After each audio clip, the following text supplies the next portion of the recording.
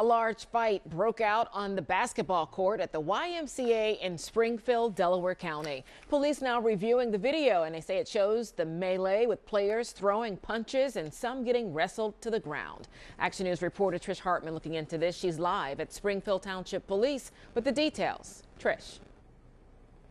Well, Shari, the president of the YMCA, says in his 40 years working for the organization, he's never dealt with anything like this. He says they are planning to press charges and they're making changes at the Y after that large fight that happened yesterday evening. This was the basketball court at the Springfield YMCA this afternoon. Business, or rather basketball, as usual. But yesterday afternoon around 5:30, this was the scene on that same court. A friendly game turned into a fight involving about a dozen people. Punches were thrown and police were called. We had over 2,000 visits to our Y yesterday, and we have 10 to 12 individuals who have ruined that for everybody. This is cell phone video that was posted to social media. Springfield Township Police say they are using it in their investigation along with surveillance video from the Y. You can hear witnesses telling them to stop as several different physical altercations played out.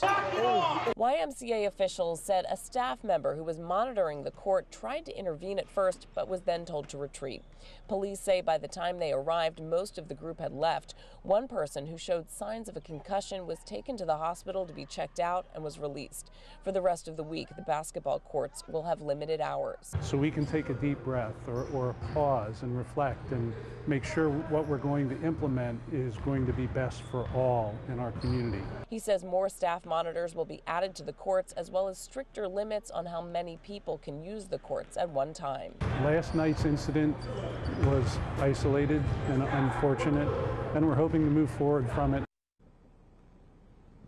Now, no word on what started that fight. Staff members say it went from a friendly game to that large fight that you saw in just seconds. Now, police say they're still going through check in records and video trying to figure out who played what role in the brawl. The chief says both juveniles and adults will likely face assault charges.